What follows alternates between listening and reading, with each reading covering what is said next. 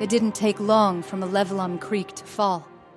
Our enemies were ruthless the automatons, the Terminids, Sony. But they weren't nearly fast enough. For you had already passed the torch. And because of you, we took back the creek, released the Termicide, shattered the automaton's resolve. Our victory, your victory, was so close. I wish you could have lived to see it. But you belong to liberty. Your body, your armor, all burned and turned to glass. Everything except your freedom. That you gave to us. And with it, we can rebuild.